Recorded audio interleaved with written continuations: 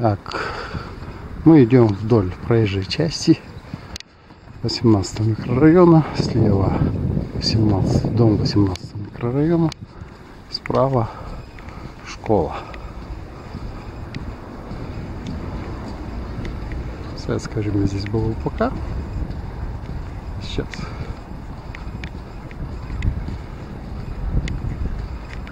по-моему, просто школа. И там уже висит табличка, что это улица Бабушкина.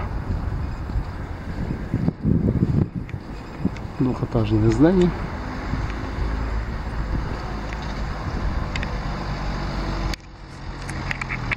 Вот это все. Майхудук.